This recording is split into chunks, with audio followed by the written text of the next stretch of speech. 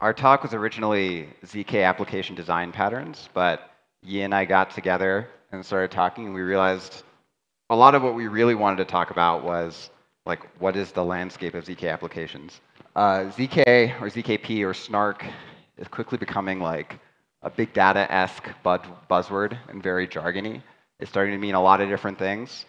Um, and so we hope in this talk to sort of like talk through some of the different application classes we're seeing emerging, emerging today, and in, in, in the process sort of like plot what we think the next six months to one year of like new ideas coming out look like. Um, and if the core thesis, core thesis were stated in a single statement, it's basically, um, maybe unsurprisingly to many people who work in ZK, that succinctness and privacy are, are kind of like the two sort of features of ZK that are interesting and understanding what succinct private succinct apps require and what private apps require, like independent of one another, might help us understand how like these two applications exist. So as Lakshman mentioned, we really think of ZK as this matrix where your proof can be either succinct or not succinct, and your proof can either be private or not private. So we think that each of these quadrants is useful in a different type of application. So in the top left, if you have a private proof that's not succinct, well, it's going to be hard to verify it on chain, but you can still use it in some off chain applications. In the bottom left, if you have a succinct proof that's not private, well, that's perfect for on chain infrastructure applications, but not so good if you're trying to hide information. And of course, you can have the best of both worlds in the top right, where you have both succinctness and privacy. But as we'll talk about a bit later in the talk, that's extremely challenging to do. So we think that almost all applications right now uh, fit into one of the left two quadrants. So just to talk through some of them, on the, on the top left, um, we have uh, more social type explorations of what you can do when you can hide information about what groups you belong to and what statements you want to make with partial revelation of information. On the top left, there are, in the bottom left, there are a lot of projects surrounding making blockchains more scalable or giving additional capabilities to decentralized applications using the succinctness property, but where everything's public already, so we don't care too much about privacy. And finally, in the top right, there are a very small number of applications that have managed to both achieve succinctness and privacy, and you probably, probably everyone is familiar with those shown. Okay, so we're now going to give an overview of where we are today on each of these factors, succinctness and privacy. So in the bottom left corner, if we ask for succinctness but not privacy, the general theme is that ZKPs are used to scale trustless off-chain compute. And the theoretical principle behind this is that if you run code on Ethereum today, every Ethereum full node has to rerun that code to validate that the execution of your transaction was correct. So that's about 100K times um, overhead, and it has very high duplication. The new uh, capability that succinct proofs give us is that only one party needs to execute the transaction and generate a validity proof of that transaction. Everyone else simply needs to validate that proof. So this removes the duplication, but just incurs a very high overhead on the prover. And so examples of applications that use this pattern today are all of the ZK rollups, as well as the sort of app-specific rollups like DYDX or Loopring. So another capability that we see ZK uh, succinct proofs bringing is cryptographic interoperability. So one thing that ZK allows you to do is to take anything from the grab bag of cryptographic, cryptographic primitives on the left and allow you to wrap it in a uniform format, namely a ZK snark. So while each of these primitives is useful for a different thing, um, they are designed in a somewhat single-purpose way. And that makes it very difficult to aggregate or compose these things. So ZK provides an interoperability layer that turns all of these into a snark proof that is arbitrarily composable using recursion. And while that snark proof adds some overhead, it makes this open interoperability possible. Okay, so let's talk about now what's necessary today to make this happen. The first thing is that because we're only asking for a succinct proof, we can really scale the prover. In particular, we can first not prove in the browser, we can prove on the user's bare metal CPU. So that gives us a really high uh, 5 to 10x improvement. Secondly, we can outsource the prover to the cloud. So we can send, the user can send a request for a snark proof of something that's already going to be public, and then the cloud-based server can run a big, large AWS instance, it can run a GPU, it can run an FPGA, or eventually an ASIC. And that can give another 5 to 10x speed up in the proving time. And finally, I wanted to talk about the last constraint when you use succinctness on chain. And this is a pretty heavy one, which is that you have to verify all of your zero knowledge proofs on chain. And in this case, the gas cost of verification really differs from the CPU cost. It's going to depend on the proving system you used, the choice of curve for that proving system, and also some proving system specific implementation choices. The most restrictive of these is the choice of curve. So on Ethereum, there are precompiles for the BN254 elliptic curve, and those operations are much cheaper. Unfortunately, other curves are somewhat prohibitive to do directly in EVM, hence the need for a precompile in the first place. One way that is commonly used right now to get around this, for example, in the ZK EVM, um, is the operation known as aggregation. The strategy here is that if you want to use a snark, a very big one, that's not natively compatible for EVM verification, you first generate your snark, A, and then you produce a recursive snark, B, which proves the claim that you know a large snark, A, that proves the statement you claimed.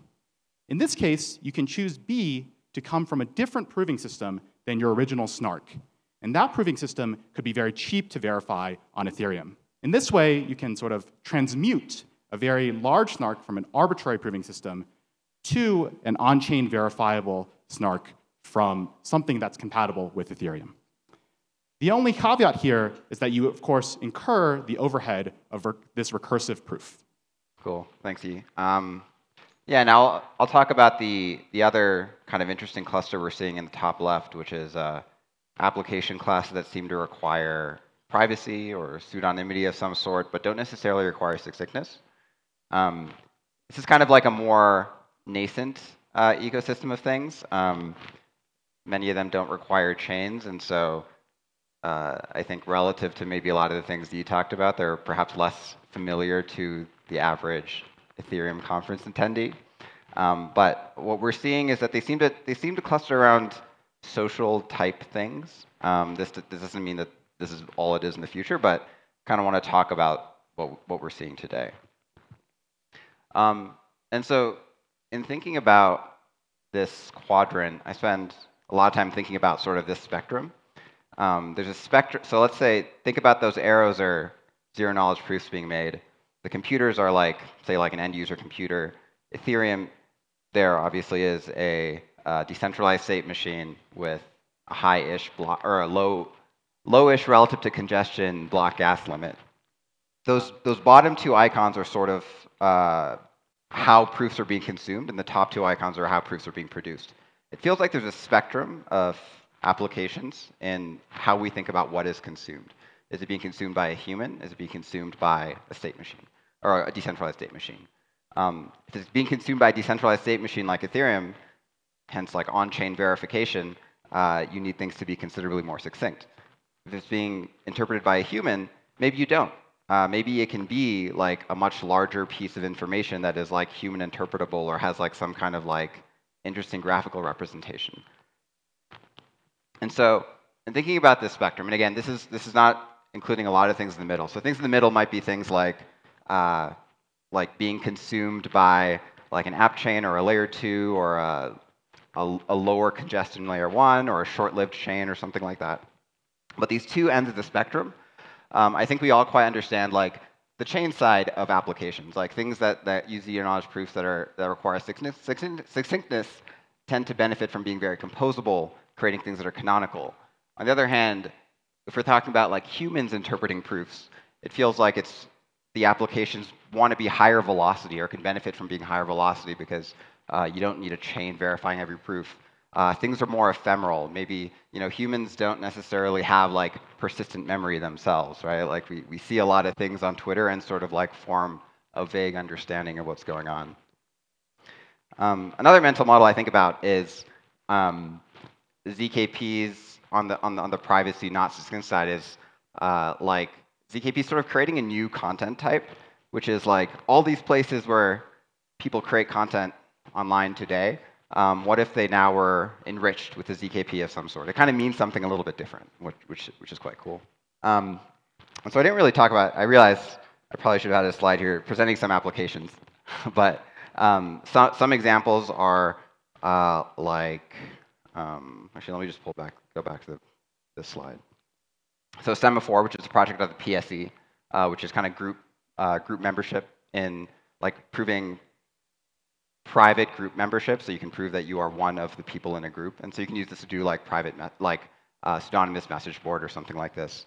Um, things like ZK email, like proving that you know mail servers. It turns out many of them uh, like sign uh, sign the email body, so uh, you can you can do a zero knowledge proof that you received an email with certain properties or something like that, which is kind of cool. And, and these things like, it's not obvious that that zero knowledge proof in either of these cases needs to be interpreted by a chain. Um, and so the requirements in this quadrant are quite a bit different um, than, and then the, the quadrant E was talking about in that like verification complexity doesn't matter as much. Verification complexity matters in succinctness because, um, or matters when you're verifying on chain because you don't want the chain to have to spend a lot of gas to verify your proof. But if a human's verifying it, like whatever, right? Like uh, it can be done somewhere else, uh, like off chain, and or like you know it can use like some like even consumer hardware is more powerful than a chain. Um, proving complexity tends to matter a lot more because we are operating usually on a consumer device for proving. So consumer device proving friendliness as well. Um, this is something we think about a lot. Is how do we make things work in a web browser? How do we make things work in a mobile device? And another piece is you know like given that we care about privacy in this quadrant, is respect for sensitive user information. So if anyone was around for um, Ayush's talk earlier today, uh, where, where he's sort of been developing this new deterministic nullifier scheme, um, that came from realizing that we just couldn't do a lot of things with private key uh, in, in, a, in a client device because it would we, we would need to pass this very sensitive piece of information around different parts of application memory. Um, and so we have to think of new kind of like mechanisms for not having to do that. Oh, this is still me. Yeah, cool. All right. So some of the some of the some of the challenges um, that we see uh, technical technical challenges in the next six months. Um, so as I mentioned earlier, like we need to be very friendly on like for, for privacy not succinct uh, applications in in resource constrained environments like mobile devices, like like uh, web browsers. I think a lot of like um, a lot of the ZK space is assuming that most ZK proofs will be produced on like very large servers or with FPGAs or with GPUs. You know, there's some like debate around which of those two things wins, of course. Um, but if users are making proofs to other, or humans are making proofs to other humans, uh, we perhaps can't quite make that assumption. So we spend a lot of time thinking about performance in resource-constrained environments. Um, I, so specific, like you know, the specific example that I gave earlier earlier with Ayush, uh, we need to think a lot about um, non-private key nullifiers, like non-private key uniqueness uh, of identity, um, because we don't want to have to deal with private key. We don't want to have to create like an environment or a platform or anything where we, we assume private key is passed from app to app. And then we also spend a lot of time thinking about um, representing more crypto systems where identity matters um, in snarks. So, you know, Ethereum, we all interact with Ethereum, and it's quite obvious there's a lot of interesting things you can say about Ethereum stuff, but there are other net, like networks in the world where uh, you know cryptographic signatures are made, like like email mail servers, like I mentioned earlier. So um, we're constantly looking around to understand where new networks are forming and how to like put those operations inside snarks. So Lakshman spoke a bit about some of the challenges ahead for privacy and a lot of that was dominated by finding new ways to improve the user experience and find applications. I think on the succinctness side, uh, the split is the other way, where what you want to build is somewhat more clear, but you need to have good enough performance to actually build it. So in that sense, what, what I view the challenge ahead as really optimizing the performance of our proving systems and our architectures. So one direction is to really weaponize this operation of aggregation and recursion that I mentioned earlier. And the reason here is that if you want a very rich infrastructure application, you need a proof for a much larger circuit than is even possible than the lar- in the largest circuits today. And so there are a couple ideas here that are only beginning to be exploited by projects right now. One is to maximize what's called a prover verifier trade off. There's a fundamental trade off between the proving time and the complexity of verifying a proof. If you feed in more compute, you can get an easier to verify proof. Um, so we can do things like starting with a very fast to prove uh, system and then wrapping it in an aggregation layer with, which transforms it to a cheaper to verify system. One form of that is already in use with basic aggregation, but we can push it much further using multiple aggregation layers. And the things here to really optimize are non-native arithmetic and elliptic curve operations for these snark-based systems. And a second direction is that even if we really optimize aggregation, it's likely that the most interesting operation, uh, statements to make are going to require multiple circuits to prove. And so in this schema, you divide up a large computation with, um, into multiple pieces, and then you verify each piece in a snark, and then you verify those snarks recursively. So with the ZK VM and other ZK rollup VMs, we're seeing the beginnings of building virtual machines in this way. And I think that uh, VMs for transaction execution are just the beginning of this trend. In a separate direction, um, in the last five years, a lot of the progress in ZK has been driven by the emergence of many new types of proof systems that have really pushed the envelope on what we can do inside a ZK circuit. So just in as recently as 2016, really the uh, most viable ZK proof system we had access to was Groth 16. But since then, we've added many capabilities like custom gates, lookup arguments, and we've been able to remove some aspects of the trusted setup in newer systems like Plonk, Halo 2, and in Starks. Um, in the landscape today, there are actually a number of new primitives emerging, which may be equally or more exciting. Um, so systems like Nova allow for much more efficient accumulation. Uh, sum-check-based systems like GKR or Hyperplonk allow for fast and faster uh, but larger proofs, which could get, then be recursively aggregated in other proof systems that we already control very well. And finally, there's the potential for much more efficient lookups in new systems such as Caulk. And so each of these represent a pretty big shift in the way that we can design ZK circuits and what type of programs we can express efficiently in them. And so it'll be exciting to see how fast these things can come to production and what new applications they can enable. Oh yeah. Um, and so, so finally, um, and to talk a little bit about where we see kind of these two things converging in the third quadrant. Um, this is probably what the future will look like in the sense that, so, so the, the left side is the kind of uh, privacy side, and the right side is sort of the succinct proving side. And the idea being that hopefully we reduce the surface area of the private to public ish proof to something quite small that can then be recursively included in a larger proof uh, that is that you know that that is in the kind of like succinct but not private uh, kind of like um, technological requirement land, and then that is interpreted on chain, and then this way we get all you know all of the nice benefits of privacy and succinctness and on-chain applications with pseudonymity and cool stuff like that. Um, yeah, that's it.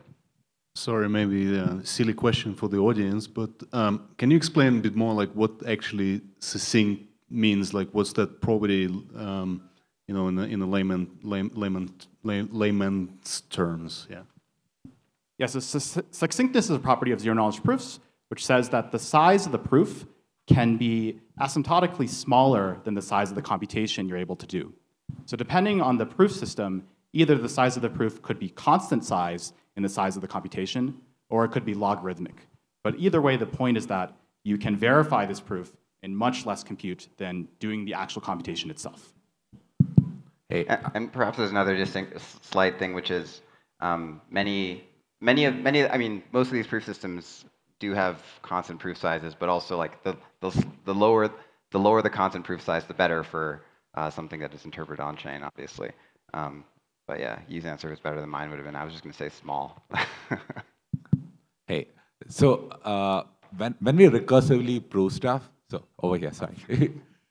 when we recursively prove, so there is a proof, and then you are proving the proof, right? So uh, there are multiple layers of uh, integrity checks, right? That that is the assurance that you get. So uh, and these circuits are super complex, and there could be like a million arithmeticians in, in there, right? So what about the security of uh, these proofs? Because if you have a single bug in a circuit, right, that is gonna traverse down to like this very small proof that you will post on chain. So what are your thoughts about that? How, are, how is the security landscape around verifying ZK systems? Glad to hear thoughts.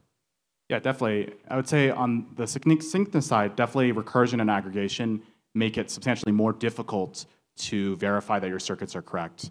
So we have obviously traditional unit testing, uh, we have randomized fuzzing, and we have some emerging formal verification approaches for ensuring circuits are correct.